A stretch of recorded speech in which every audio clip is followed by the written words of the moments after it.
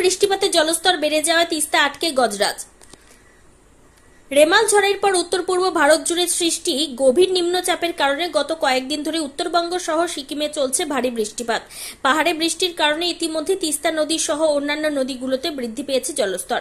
বৃহস্পতিবার সেই কারণে জলপাইগুড়ি জেলার গজলডোবা সংলগ্ন টোটগাঁওয়ে তিস্তার বুকে একটি হাতিকে অসহায় অবস্থায় দেখতে পাওয়াকে ঘিরে চাঞ্চল্য ছড়িয়েছে এলাকায়। ইতিমধ্যে বনবিভাগ তিস্তা নদীর বুকে আটকে পড়া গজরাজের গতিবিধির ওপর নজর রাখছে।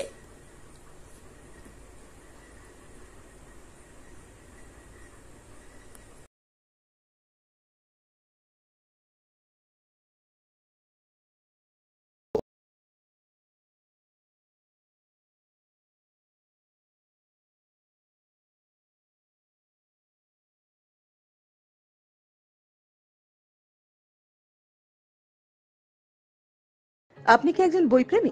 কিংবা আপনি কি বই পড়তে ভালোবাসেন? কিন্তু আপনার পছন্দ মতো বই কোথা থেকে ক্রয় করবেন ভাবছেন?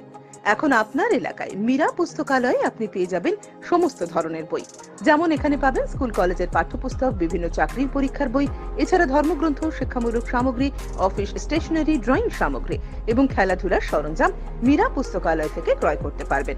তাহলে আজই যোগাযোগ করুন আমাদের ঠিকানায় সুকান্ত মোড়, কালিয়াগঞ্জ, উত্তর দিনাজপুর। যোগাযোগের জন্য number eight nine four five nine three three one two eight